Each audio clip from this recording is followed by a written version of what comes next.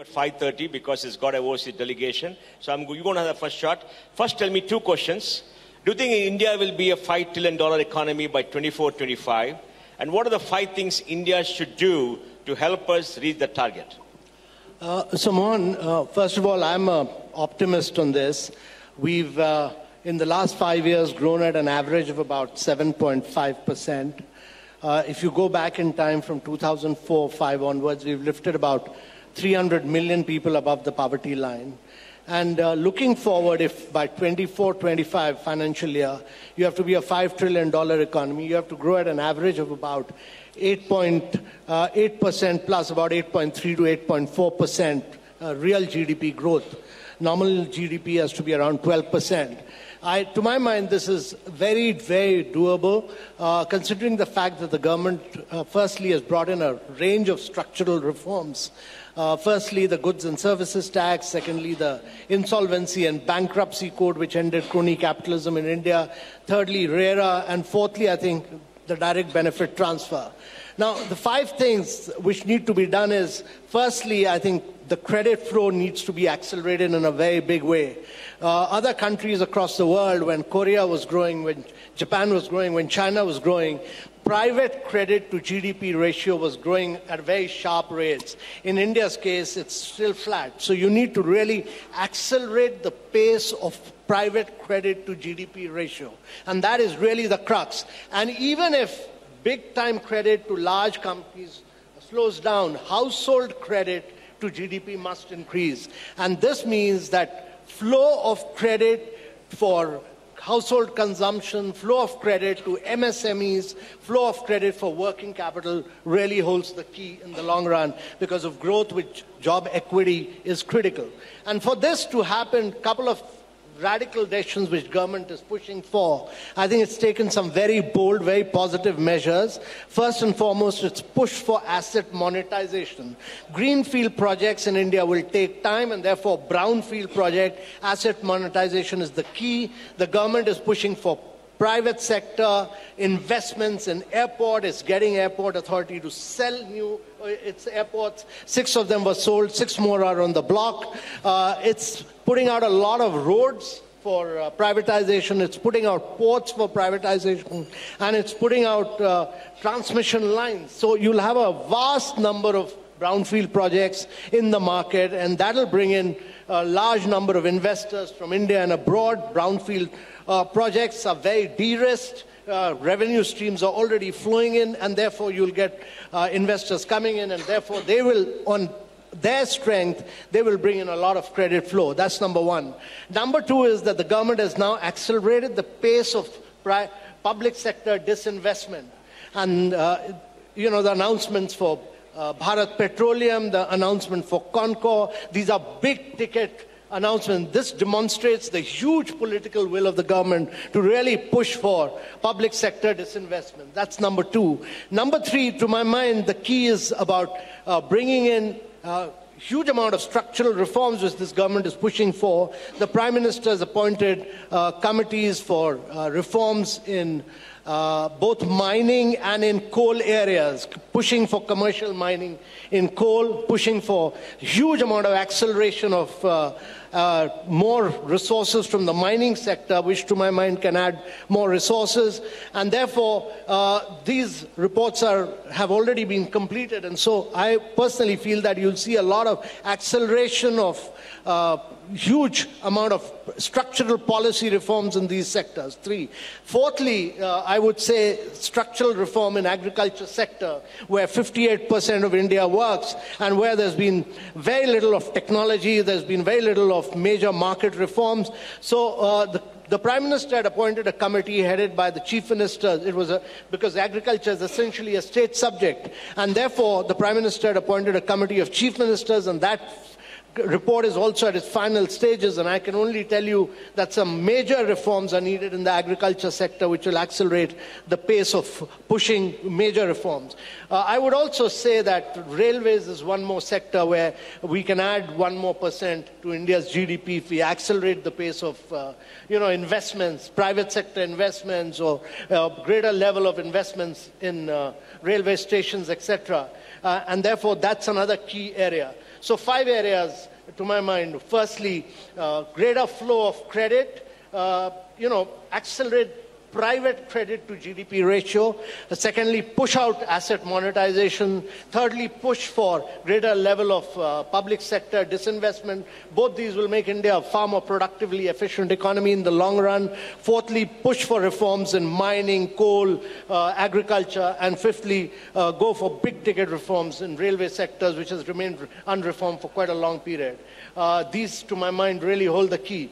But I would say that in the long run, if you want sustained growth over a long period of time, one of the key things that is being done is to really improve nutrition, education, health, because India can't grow on a sustained basis over a three decade period without this. And the Prime Minister has put a lot of capital into this, his personal capital. We run a program called the Aspirational. uh, Aspirational District Program where we monitor the performance of the 115 most backward districts. We don't call them backward, we call them aspirational districts of India, where we monitor their program in 49 indicators on a real time data basis, and we name and shame them. We put their performance out in public domain, and uh, it's a, it's a real time dashboard, and we've seen some radical transformation taking place in some of the most backward districts of India. So, this really, to my mind, is the key uh, for taking India to a $5 trillion economy. Can I ask one more question?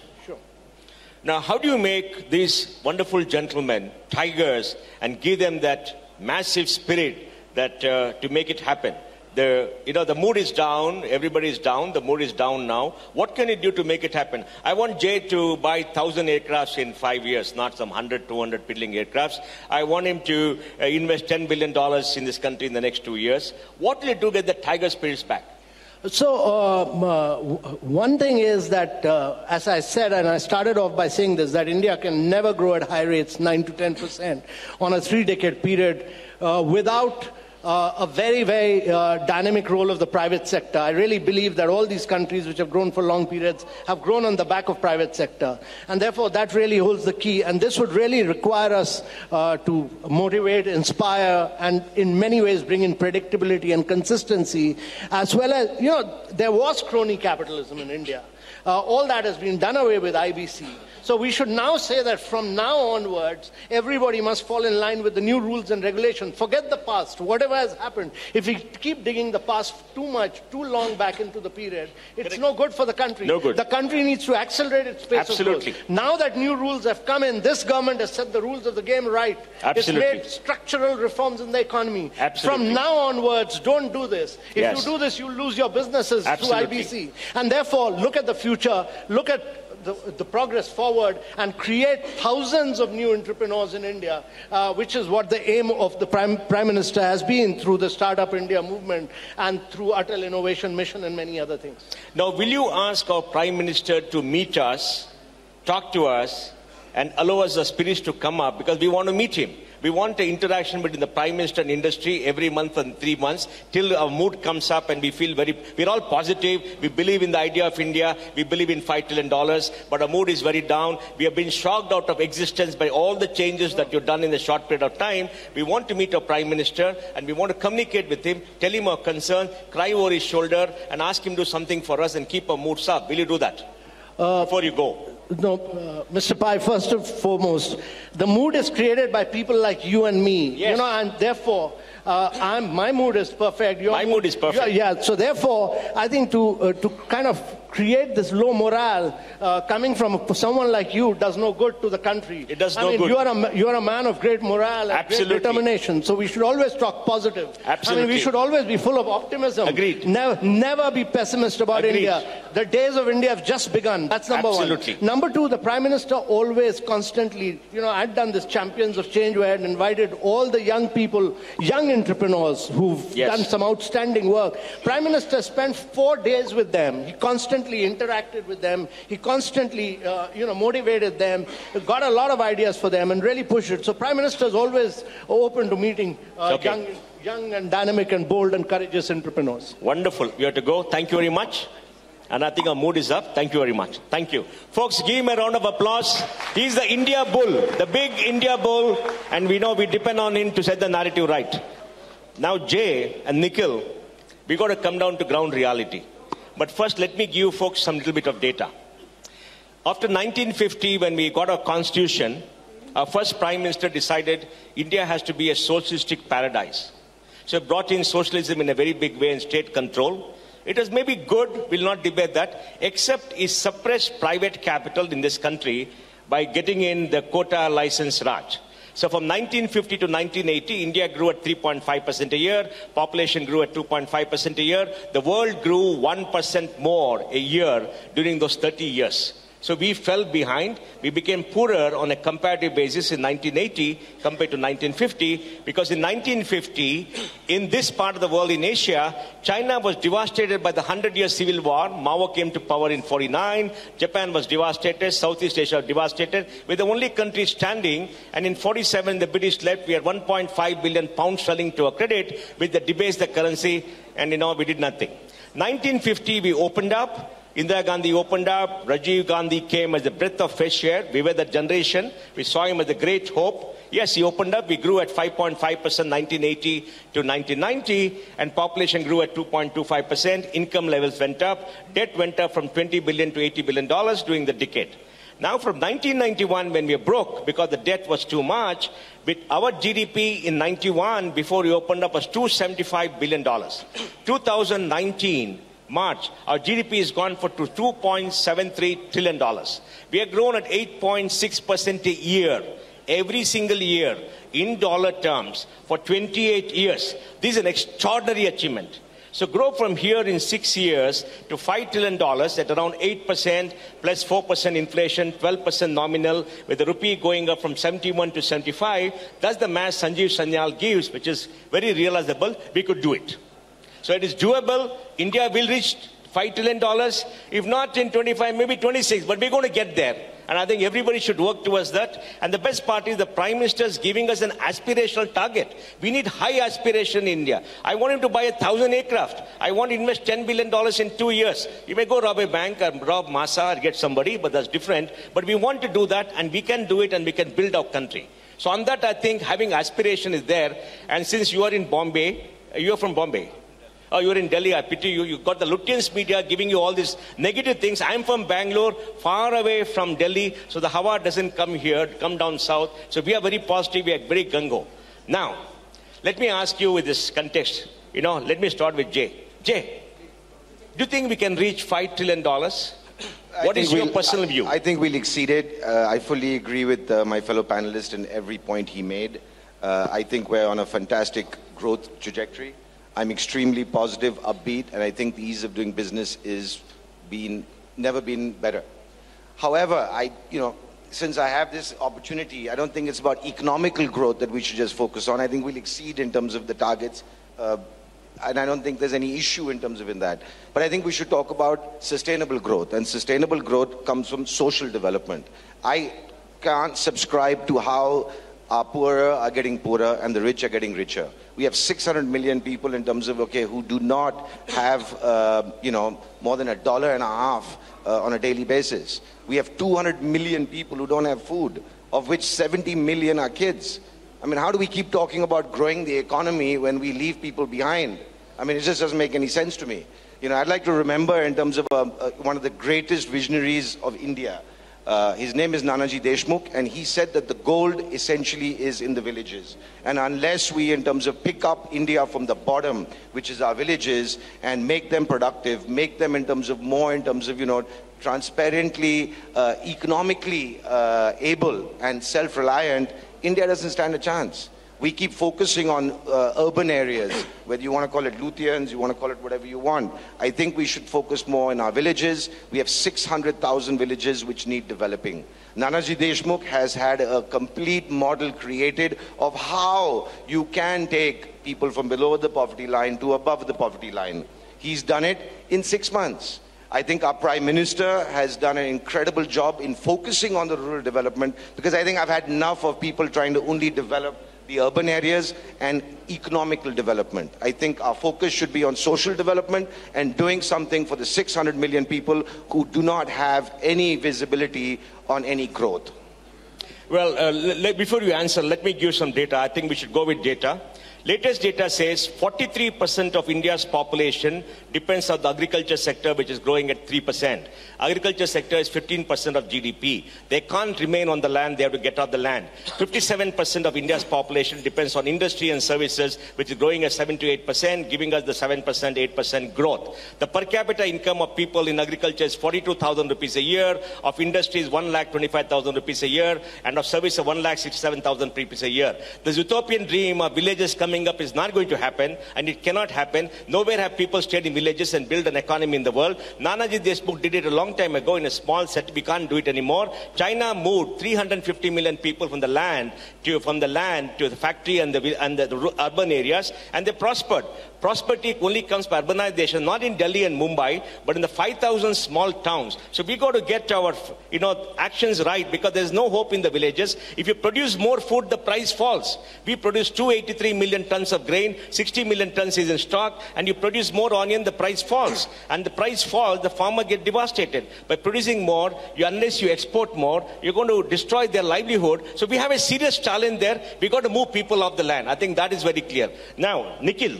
What is your I view? completely disagree in terms of that there is no hope, by the way. I'm a complete optimist and I have been No, no, you can be an myself. optimist, that's fine, but No, you got to be a realist about what Sometimes is happening you on need the to go and what see in terms do. of what's actually happening in the villages and the development that's happening in the villages to comment or pontificate on uh, Nikhil, hope. Nikhil, I run the world's largest midday meal program for children. 15,000 schools all over this country. We feed 1.8 billion children. We feed them in smaller towns. We know the reality. 70% of farmers don't want their children to do farming. They want to go to the cities, be like you. Go to Mumbai and see the film industry and live happily. Not live in a small village where nothing is going to happen for a long time. Anyway, Nikhil, now tell me, what do you think is going to happen?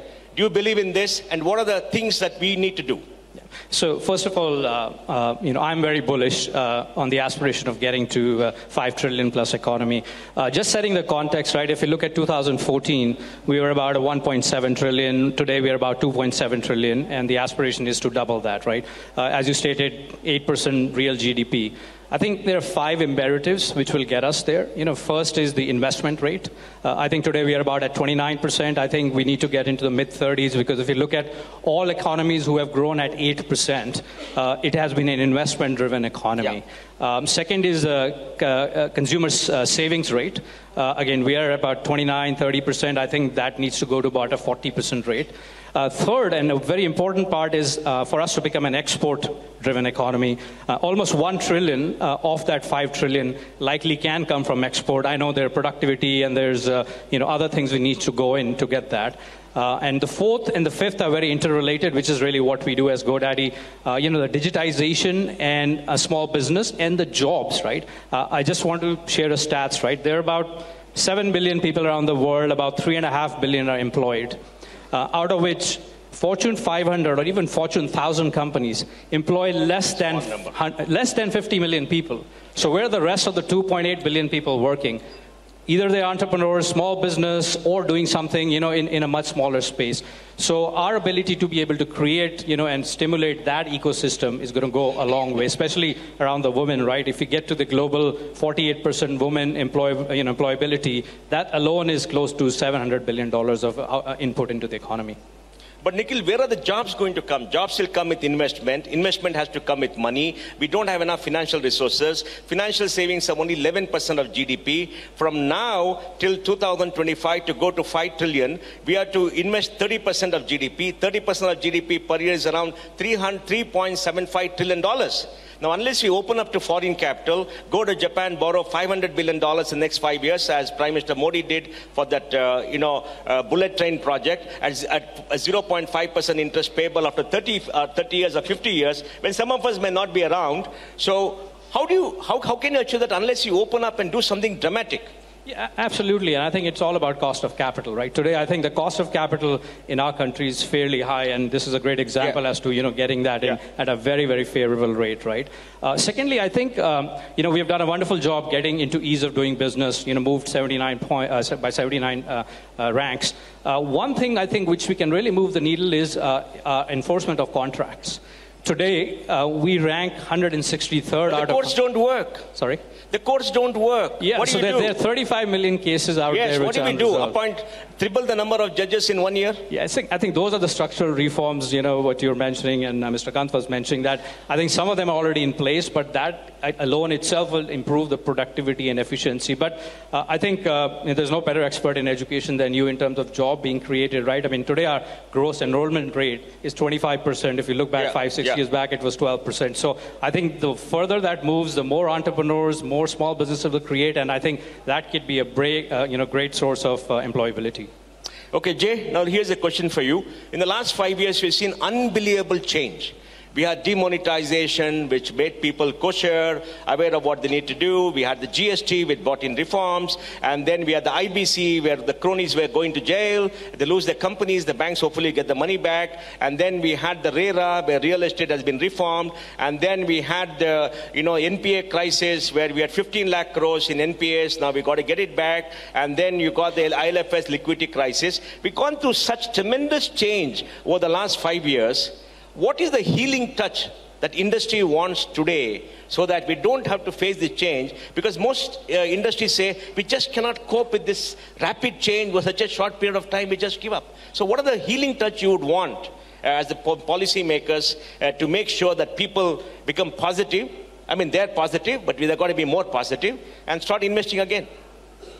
Well, I'm for rapid change, and I have no uh, negative comments on in terms of you know anyone saying that oh it's too rapid. Uh, we need rapid change. If you want to, in terms of you know get to where you want to get to, you need rapid change, and we have seen rapid change in five years, and I think we have a lot more to come. What about you? What do you say? Yeah, so uh, you know, I, Is I there a need for a healing touch? And I'll explain once more. Out of the ILFS, the GDP has come down this quarter. That is July to September. SBI Soumya Ghosh says it's going to be 4.2%. Somebody says 4.7%. And this quarter, October, November, December, we're seeing some green shoots, not much. So this is a write-off. And in the next quarter, we don't see growth coming up to 6% again. This whole year will be a write-off, and it puts pressure on the balance five years. So what are the healing touch you want to bring back the animal spirits? I mean, he's a bull, I'm a bull, he's a bull, is a bull. But you know, there are bears in left in Mumbai and Delhi will not come here. He'll not. I mean, Anna will not invite them here. You know. So what, what, what are the healing touch you think we should do? Uh, So um, I'll, I'll answer that, but I want to give a healing Ask, comment. ask the prime minister. I mean, Anna will make sure that he gets to hear. But ask the prime minister what are the things that you want to change so that people feel happy and go invest. Yeah, so talking about happiness, right? So GoDaddy uh, does this annual survey uh, for small business entrepreneurs and ranks them against global counterparts. Uh, one out of two, every small business owner today believes that they're going to grow over 50% in next to three to five years, which is 1.7 times more than the global counterparts. So I think in the long run, I think everybody is very bullish and very kind of optimistic. I think in the short term, uh, I think it's really the fundamental right access to capital. Uh, either it's you know giving uh, rebates around taxation. I think taxation. It's still the, government did, did a great job recently uh, on reducing the tax rate for the corporations, but you know at MSME level, I think there is room there. Uh, and also uh, you know looking at basically you know kind of helping reform some of the some of the policies, right? Because the the, the time it takes, right, for MSMEs to get credit back from the government. A lot of time the programs have been in, put in place, but I think the, like for example, GST credits, right, I think it's just taking longer cycles, and I think that would move the needle transactionally. Uh, Jeh, what is your view? What are the five things you would want from a prime minister? I'm saying prime minister as a proxy for the government of India because there are things like this which are impediments to fast growth. What are the five things you would want to see in the next two months? Well, infrastructure is one for sure. It's not going to happen tomorrow. No, it we takes know time, but you know, today we, we sort of waste about 25% of everything we grow and transport. Yes. Uh, you know, and then correspondingly you have 200 million people who don't have food and 61 million are kids. So I mean, it's a it's a contradiction. They so don't have- they have food infrastructure hopefully will will we'll have investment and it'll be faster and it'll be rapid. Okay. Apart from that, I think in terms of you know the basic fundamentals coming back to bottom up from the villages is what I would focus on. So forget the five. I'm in terms of four bottom up development, That's going to social time, development, infrastructure development is from the top. But if we cannot empower the people who live in our villages to stay in our villages and not come to the cities, I think we have a fundamental problem and a disconnect here. Jeh, you ask a villager where he wants to go, he wants to come and sit in your house, not in his house. I I'm mean, sorry. they have high aspirations. When they come to no, no, no. When they come from the village, they have no savings. They have no social welfare. They have no security. Your servant or your driver, in terms of what, what do they, what do they gain by coming to the city? They are living in a deficit. You pay them less than what they spend in a year. If you, in terms of get upset with them, you fire them. They have no time to spend with their family, developing family welfare because they're slaving for you throughout the day and night. So where is the gold? It's the wealth is not in the cities. you want them the to stay- wealth is in the villages, and if you empower Jeh. the people in the villages, they won't come to the city. Okay, that's Jeh, the we- point. I think I think we'll leave it at that. I like this romanticism. What's your last word from you? So I, I think if you were uh, uh, asking one thing, right, I think, uh, again, uh, if we're doing a lot of resets in the economy, we've done GST, we've done demonetization, why can't we do the reset of these contract resolutions? Because any, you talked about FDI, right? Any big company, when they think about investment, that is the biggest fear. I'm going to be stuck in the court system for something which is Absolutely. going to go wrong, right? So if that can be reset, like the, we have done the reset in, on demonetization, I think that could really move uh, the needle very fast. Okay, folks, we have to end here. Give a yes, yes, yes, Arnab. You want to ask questions? I just can't help but comment, and I must say this about Jeh and Nikhil that, you know, we speak about a despondent mood, right? Uh, Bankers are despondent. These, this is the next generation of Indian business, and I think they're so optimistic, so we should give them a. They're the ones who run businesses. So I, I full hats off to both of them. Big round of applause to Jeh and Nikhil. They'll get the animal spirits back. Thank you. Thank you. Thank you. Thank you, Arnab, and thank you, folks. Thanks, Jeh. Thanks, Nikhil. Thank you very much, Mr. Park.